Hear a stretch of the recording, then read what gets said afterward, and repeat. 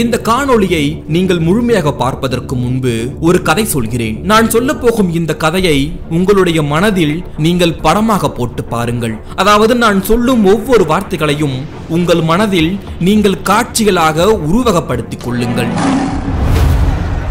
போர்க்களத்தில் ஆக்ரோஷமாக போர் நடந்து கொண்டிருக்கிறது. நாயகன் கையில் வேலினை வைத்துக்கொண்டு போரிட்டுக் கொண்டிருக்கிறான். ஒரு கட்டத்தில் எதிரி நாட்டு யானையிடம் நேருக்கு நேராக போரிட்டு அதனை வீழ்த்த நினைக்கிறான். யானையும் இவனை தாக்க நேருக்கு நேராக வருகிறது. அப்பொழுது தன் கையில் இருந்த வேலினை யானையின் மீது குறிப்பார்த்து வீசுகிறான். அந்த வீரன் எறிந்த அந்த வேல் சரியாக யானையின் நெற்றிக்குள் பாய்ந்தது. இன்னும் சிறிது நேரத்தில் அந்த யானை இறக்கப் போகிறது. ஆனால் யானைக்கென்று ஒரு அசுர பலம் இருக்கும் தெரியுமா? அந்த அசுர பலத்தை யானை தன்னுள் வர வைத்துக் கொண்டு அந்த அசுர பலத்தோடு அந்த வீரனை நோக்கி கோபமாக செல்கிறது. என்னதான் அது தாக்கப்பட்டாலும் நாயகனை நோக்கி மிக கோபத்தோடு முன்னேறி வருகிறது. இந்த நேரத்தில் இன்னொரு வேல் இருந்தால் யானையை சுலபமாக வீழ்த்தி மண்ணில் சாய்க்க முடியும் என்று நாயகனுக்கு தோன்ற. இடதுபுறம் வலதுபுறம் என எல்லா இடங்களிலும் வேலினை தேடுகிறான். அதற்குள் தனது நெற்றிக்குள் பாய்ந்த வேலோடு யானை அவனை நெருங்கி வர இறுதியில் அந்த வீரனுக்கு அந்த நாயகனுக்கு இன்னொரு வேல் கிடைத்துவிட்டது. அந்த வேல் எங்கே இருந்தது என்றால் பகைவன் ஒருவன் எரிந்த வேல் அவன் நெஞ்சில் பாய தனது நெஞ்சில் குத்தி இருந்த அந்த வேலினை பார்த்து மெல்ல சிரித்தான் நாயகன்.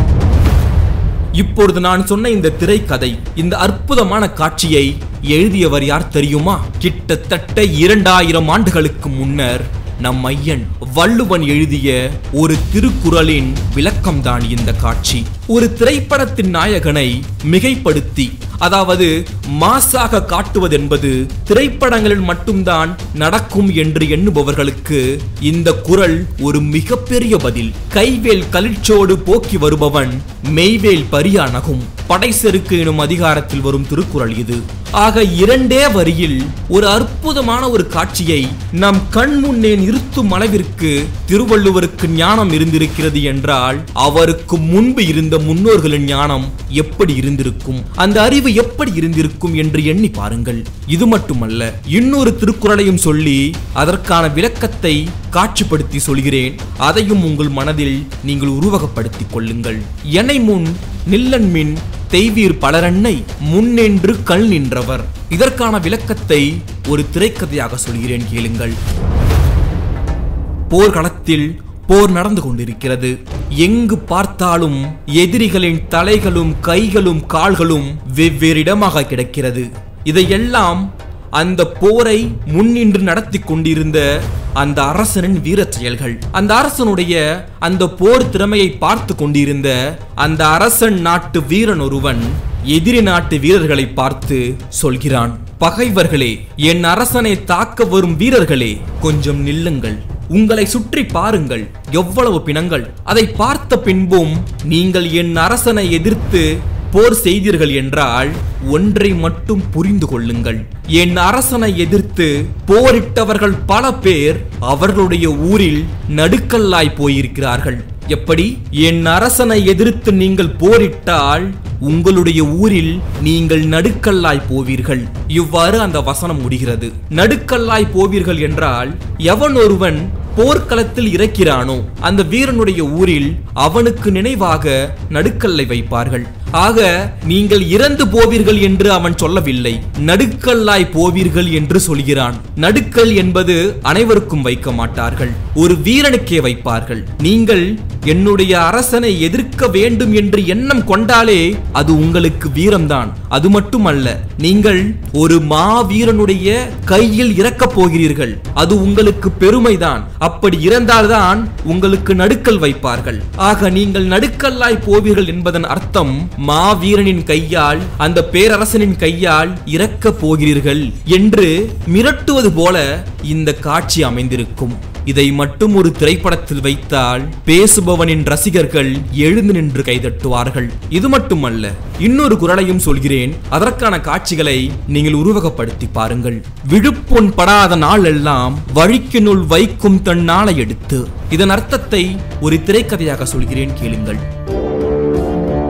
ஒரு வீரன் அவன் வீட்டுக்குள் இருக்கிறான். அவன் மிகவும் சோகமாக இருக்கிறான். அவனை அவனே வெறுத்து பார்த்து கொண்டு இருக்கிறான் அவன் ஒரு மாவீரன் தான் இருந்தாலும் அவன் ஏன் சோகமாக இருக்கிறான்? சோகமாக இருக்கிறான் என்பதை விட அவனை அவனே ஒரு வெறுப்பாக பார்த்து கொள்கிறான். என்ன காரணம்? அவனுடைய வாழ்வில் என்ன நடந்தது? அந்த வீரன் பல போர்களை பார்த்துள்ளான். பல போர்களில் பல எதிரிகளை கொன்றுள்ளான். பல எதிரிகளை வீழ்த்தியுள்ளான். அவனுடைய வாழ்நாளில் அவன் வீட்டில் இருந்த நாட்களை விட போர்க்களத்தில் இருந்த நாட்கள் தான் அதிகம். அப்படி இருந்த அவன் அவனுடைய ஒவ்வொரு நாட்களையும் அதாவது அவனுடைய போர்க்களத்தில் இருக்கும் ஒவ்வொரு நாட்களையும் ரசித்து ரசித்து வாழ்ந்தான். ஏனென்றால் தன்னுடைய அரசனுக்காக எதிரி நாட்டு வீரர்களை கொன்று கொண்டே இருப்பான். அதனால் அவனுடைய உடம்பில் பல புண்கள் வரும் பல காயங்கள் வரும். அதையெல்லாம் அவன் கண்டுகொள்ளாமல் தன்னுடைய வீரத்தை ஒவ்வொரு போரிலும் நிரூபித்துக் கொண்டே இருப்பான். அவ்வாறு வாழ்ந்த ஒருவன் இப்பொழுது வீட்டில் இருக்கிறான். அவன் தன்னுடைய கடந்த நாட்களை எண்ணிக்கொண்டிருக்கிறான் எப்படி என்றால் நாம் எப்படி போர்க்களத்தில் இருந்தோம் எப்படி போரிட்டோம் எத்தனை பேரை கொன்றோம் எத்தனை பேர் என்னை தாக்க வந்திருப்பார்கள் என்னை கொல்ல வந்திருப்பார்கள் என்னை குத்தி இருப்பார்கள் என்னை காயமாக்கி இருப்பார்கள். அப்படி ஒரு வீர வாழ்க்கையை வாழ்ந்த நான் இப்பொழுது வீட்டில் இருப்பது கூட எனக்கு வருத்தமில்லை. ஆனால் நான் வாழ்ந்த ஒவ்வொரு நாட்களிலும் என்னுடைய முகத்திலும் என்னுடைய மார்பிலும் அந்த போரின் காரணமாக அந்த போரின் சின்னமாக உடம்பில் காயம் இருந்து கொண்டே இருக்கும். உடம்பில் அந்த புண் இருந்து கொண்டே இருக்கும்.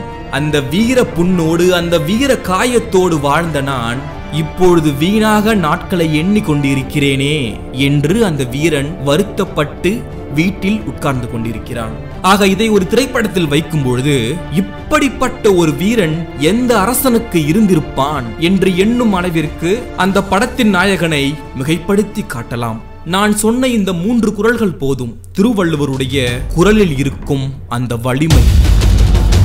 ஒரு திரைப்படம் வெற்றியடைய வேண்டும் என்றால் அந்த படத்தின் கதையை தாண்டி திரைக்கதைக்கு தான் அதிகமான முக்கியத்துவத்தை கொடுப்பார்கள். கதையை எழுதுபவர்களால் அந்த படத்திற்கான திரைக்கதையை அவ்வளவு சுலபமாக எழுதிவிட முடியாது. அது ஒரு தனி கலை. அந்த திரைக்கதைக்கான கலை இருப்பவர்களால் மட்டுமே ஒரு போர் காட்சியை மிக துல்லியமாக மிக சுவாரஸ்யமாக அனைவருக்கும் பிடிக்கும் வகையில் எடுக்க முடியும். ஆனால் இந்த திரைக்கதை பாணியை ஈராயிரம் ஆண்டுகளுக்கு முன்பு வாழ்ந்த நம் வள்ளுவன் திருவள்ளுவன் மிக அழகாக அவருடைய திருக்குறளில் இரண்டே அடியில் சொல்லிவிட்டு சென்று விட்டார். அந்த குறளுக்கான அர்த்தங்களை தேடும் பொழுதுதான் இன்றைய பல வெற்றி படங்களில் அந்த போர் காட்சிகளில் வரும் அந்த திரைக்கதை வெளிப்படுகிறது. நாம் இன்றும் கைத்தட்டி பார்க்கும் பல காட்சிகளை அந்த படத்தின் கதையாசிரியர்கள் எல்லாம் திருக்குறளில் இருந்து எடுத்திருப்பார்களோ என்று நான் எண்ணுவது உண்டு. இரண்டாயிரம் ஆண்டுகளுக்கு முன்பு வாழ்ந்த ஒரு மனிதனால் எழுதி வைத்து சென்ற பல வரிகள் இன்றைய காலகட்டத்தில் இன்றைய விஞ்ஞானத்தால் அதை காட்சிப்படுத்தும் பொழுது அதில் இருக்கும் அந்த வீரமும் வலியும் மிக அழகாக தெரிகிறது. இதுதான் தமிழனுடைய பெருமை. இரண்டாயிரம் ஆண்டுகள் மட்டுமல்ல. இருபதாயிரம் ஆண்டுகள் கழித்து நீங்கள் அதை பார்த்தாலும் அதன் விளக்கத்தை நீங்கள் கேட்டாலும் கேட்கும் ஒவ்வொரு நிமிடமும் உங்களுக்கு மெய் சிலிர்த்து கொண்டே இருக்கும். அதுதான் திருவள்ளுவரின் திருக்குறள்கள். இதேபோல் உங்களுக்கு மிக பிடித்த திருக்குறளை கீழே கமெண்ட் பாக்ஸில் பதிவிடுங்கள். அதை இந்த உலகம் அறியட்டும். இது போல பல வீடியோக்களை நீங்கள் பார்க்க. டீப் டாக்ஸ் தமிழ் யூடியூப் சேனலையும் ஃபேஸ்புக் பக்கத்தையும் இன்ஸ்டாகிராம் பக்கத்தையும் சப்ஸ்கிரைப் செய்து ஃபாலோ செய்யுங்கள். டீப் டாக்ஸ் தமிழ் நான் உங்கள் தீபன்.